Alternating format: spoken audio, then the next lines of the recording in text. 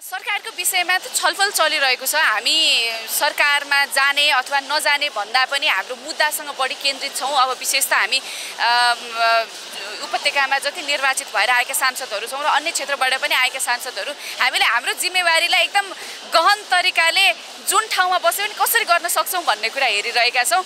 त्यसैले अब बाँकी छलफलहरू त चल्दै नै गर्छ तर हाम्रो जुन दैनिक काम र जिम्मेवारीबाट हामी पन्छेका छैनौँ। निरन्तर जनताको घर दैलोमा गएर उहाँहरूका समस्या गुनासा सम्बोधन गर्नेदेखि लिएर सदनमा आवाज उठाउनेसम्म हामीले निरन्तर गरिरहेका छौँ। सदनको सुन्दरता भनेकै त्यहाँ चाहिँ पक्ष प्रतिपक्ष हुन्छ नि चर्को आवाज राख्ने नरम आवाज भएको मधुर मिठास आवाज भएको साह्रै कर्कस आवाज भएको सबै प्रकारको आवाजहरू चाहिँ त्यो सदनभित्र हुन्छ।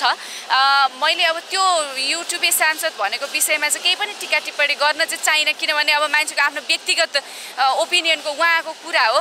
मैले कहिले पनि अब त्यसरी कुनै पनि व्यक्तिलाई आक्षेप लगाउने गरी आजसम्म बोलेको छैन। अर्काले बोलेको कुरामा म कसरी जिम्मा लिन सक्छु? तर मेरो अपेक्षा चाहिँ के हो भने सबैले सबैलाई सम्मान गरेर बोल्ने वातावरण आओस्।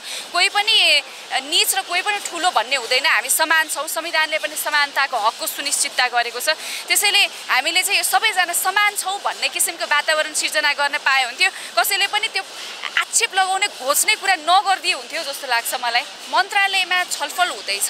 खास दाबी यति उति भन्दा पनि सरकारलाई काम गर्न सहज होस् भन्ने हो। अब सरकार मन्त्रालय चाहिँ अब सीमित छ।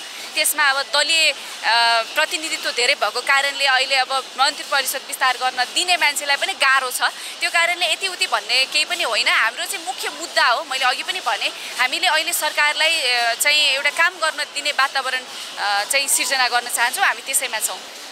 यसको महत्त्व उपत्यकावासीले त पहिलादेखि नै यसको महत्त्व फिल गर्नुभएको। विशेष त अब यो पानी सँग सम्बन्धित भएको कारणले गर्दाखेरि जुन अब खडेरी लाग्ने मौसम छ त्यसको बेलामा चाहिँ सेतो मथेन्द्रनाथको जुन जात्राबाट एक हिसाब एक हिसाबको जुन आस्था र विश्वास बनेको थियो त्यही विश्वासलाई चाहिँ निरन्तरता दिने जात्रा हो।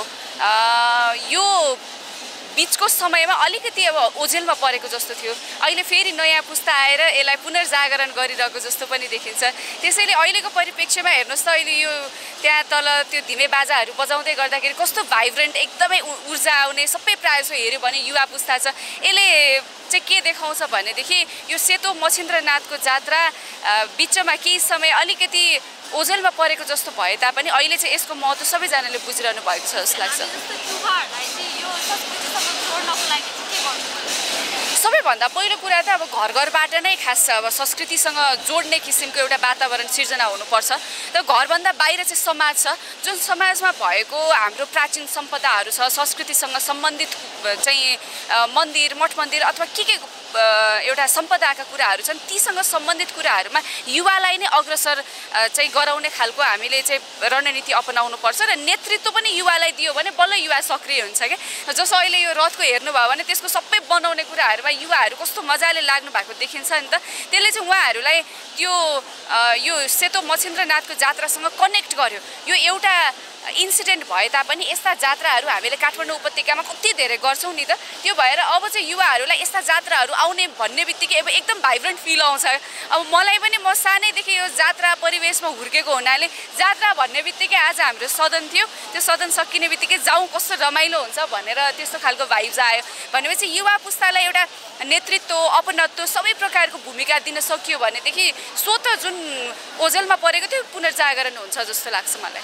अहिले जो मिटर ब्याज पीडितहरू हुनुहुन्छ नि उहाँहरूप्रति तपाईँको धारणा चाहिँ के छ? उहाँहरूको जुन मुद्दा छ सदनमा कसरी उठाउनुहुन्छ तपाईँ? एकदम राम्रो प्रश्न उठाउनु भयो। आज सदनमा अधिकांश आवाजहरू मिटर ब्याज पीडितकै पक्षमा उठेका थिए। त्यो नहुनु पर्थ्यो। एउटा साउ महाजनहरूले मिटर ब्याज लगाएर अप्ठ्यारोमा परेका मान्छेहरूलाई एकदम अप्ठ्यारोमा परेको बेलामा उसको लुट्नसम्म लुट्ने किसिमको एउटा जुन परिपाटी निर्माण भएको थियो त्यसबाट पीडित वाक्क दिक्क अब केही पनि जीवन बाहेक केही पनि छैन भन्ने अवस्थामा आइसके पछाडि चाहिँ उहाँहरू जुन एउटा यात्रा गरेर काठमाडौँसम्म आइपुग्नु भएको छ त्यो चाहिँ सरकारले यथाशीघ्र सम्बोधन गर्नुपर्छ। धेरै अगाडि उठाएको कुरा पनि हो। मैले सदनमै पनि उठाएको थिएँ। चाहे त्यो माइक्रो फाइनेन्स लघु वित्तको कुरा होस् चाहे त्यो मिटर ब्याजको कुरा होस् अप्ठ्यारोमा परेको मान्छेलाई चाहिँ उसको त्यो परिवेशको फाइदा उठाएर त्यो प्रकारको गतिविधि नेपालमा चाहिँ भइरहेको एउटा आर्थिक शोषण भइरहेको अवस्था हो। मैले सदनमा पनि भनेको थिएँ नियमनकारी संस्थाहरूले चाहिँ नियमन गर्नु पर्यो। उसले नियमन गर्न सक्दैन भने अर्को दोस्रो संस्थालाई हस्तान्तरण गर्नु पर्यो। कानुनै नभएको जस्तो देश जस्तो त बन्न भएन नि भन्ने कुरा हो। त्यसैले उहाँहरू यहाँसम्म आइपुग्नु भएको छ। आज सदनमा नाइन्टी पर्सेन्ट आवाजहरू उहाँहरूकै पक्षमा धेरैजना सांसदहरूले उठाउनु भएको कारणले उहाँहरूको पक्षमा आवाज सम्बोधन हुन्छ भन्ने कुरामा म विश्वस्त छु।